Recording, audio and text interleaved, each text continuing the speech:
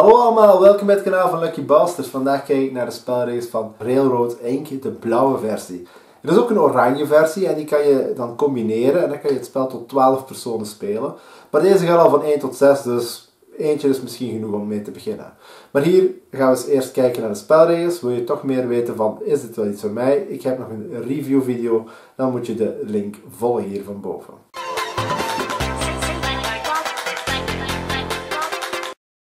Om Railroad Inc. te starten moet je iedere speler een bordje geven en een stiftje waarvan de stop aan de verkeerde kant zit.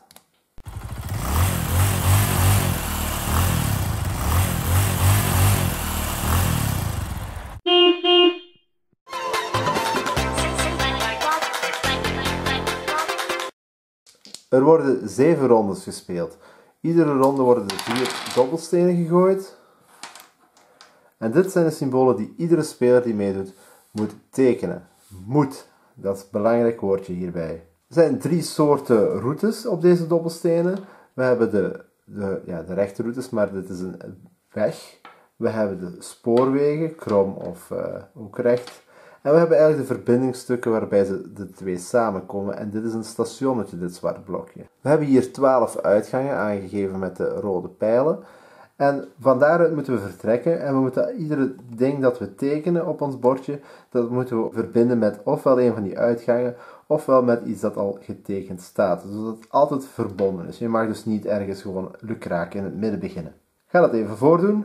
Dus nu heb ik deze al getekend, dus je mag ze draaien en spiegelen zoveel je wil. Dat is allemaal geen probleem. Nu heb ik ook deze dobbelsteen gebruikt, dus daarmee is die ook al gebeurd. Om het gemakkelijker bij te houden, kan je ze ook altijd afstrepen op dit hier, deze regel. Dus ik heb mijn rechte één keer gehad, dus ik trek er één streep door. Ik heb deze één keer gehad, één streep erdoor. Dan heb ik nog een kromme te gaan en zo eentje. Maar ik zie hier dat dat een probleem geeft om die samen te brengen. Ik mag wel ergens anders beginnen. Maar wat ik nu ook zou kunnen doen, is één van deze speciale routes gebruiken. Je hebt er zes en je mag er maar drie inzetten. Het moet drie keer een verschillende zijn. En je mag er maar één per ronde gebruiken. Dus stel nu bijvoorbeeld, ik zie hier heb ik een weg en een spoorweg. Ik zou die eigenlijk willen verbinden. Kan ik bijvoorbeeld deze gebruiken, maar deze zou ik ook kunnen gebruiken, want je mag ze opnieuw draaien zoveel je wil. Deze gaat ook, laat ik deze gebruiken. Dan moet je ook aangeven aan de andere spelers. Dus opnieuw, dit is een stationnetje, dat zwarte blokje. En dus nu zijn deze twee uiteindes met elkaar verbonden.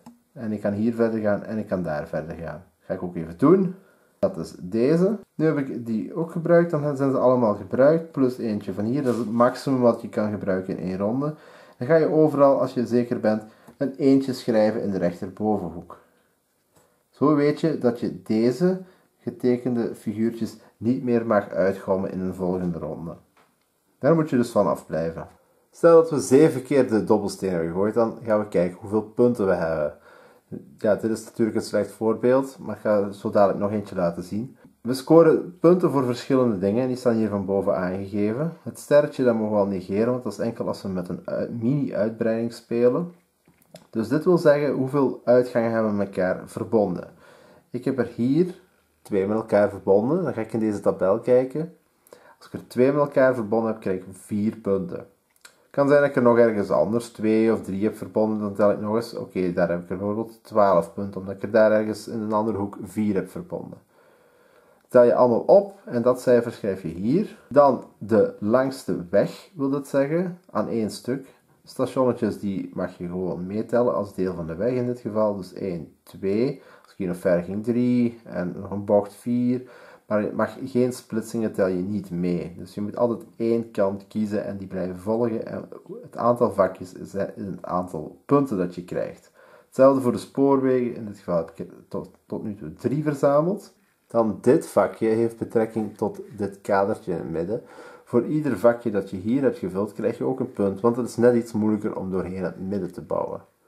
En dit zijn minpunten voor iedere weg die je niet fatsoenlijk hebt laten eindigen. Dus deze uitgangen, dat maakt niet uit. Maar dit, dit loopt dood in het niets. Dit loopt dood in het niets. Dat zijn allemaal minpunten. Dus ik heb hier min 3 punten. Als je ze doodlopen op een muur, dan is het geen probleem. Dat geldt als een geldige weg. Dan tel je al die punten op, je trekt dit ervan af. En dat zijn je, is je puntentotaal. Wie het meeste heeft, heeft gewonnen. Bij gelijkspel gaan we kijken naar wie heeft de minste strafpunt. Dan heeft die persoon gewonnen. Nog een tweede voorbeeldje en dit keer is het wel afgemaakt. Wat hebben we hier allemaal? Ik ga even plat drukken. Dus ik heb mijn drie wegen hier gebruikt. Die heb ik ook aangeduid. En dan hoeveel uitgangen heb ik met elkaar verbonden? Ik heb ze alle 12 met elkaar kunnen verbinden. Dus het is wel letterlijk mogelijk. Ik heb daardoor wel op het midden wat gemeden. Dus alle 12, dat levert mij 45 punten op. Dat zien we daar. En dan, mijn langste weg is uh, eh, 10. Waar is die weer al? Hier denk ik 1, 2, 3, 4, 5, 6, 7, 8, 9, 10 vakjes. Mijn langste spoorweg, dat gaat deze zijn. 1, 2, 3, 4, 5, 6, 7. Die gaat hier onderdoor. 8, 9. Dat is dat. Twee vakjes hier ben ik geweest, dus twee punten. Min 5 uitgangen die niet kloppen. Dus dat is min 5. En dan kom ik op een totaal van 61 punten. Dat is al vrij uitzonderlijk wat mij betreft. Maar het kan dus wel. Railroad Ink komt in twee versies, de blauwe versie en de oranje versie. Wat het basisspel betreft is er geen enkel verschil, maar dan komen we aan de uitbreiding dobbelstenen. Het zijn echt mini-uitbreidingsjes. Je kan ofwel kiezen voor deze twee dobbelstenen ofwel voor deze twee. In de oranje uitbreiding zit iets meer vuurgetinte uitbreiding. Hier gaat het over water. Wat doen ze juist? Dat ga ik nu even uitleggen. Ik zal even verder gaan van dit bord. Er zijn een aantal dingen die veranderen. Je gooit de uitbreidingsdobbelstenen gelijk met de rest. Maar je bent in dit geval niet verplicht om ze te tekenen.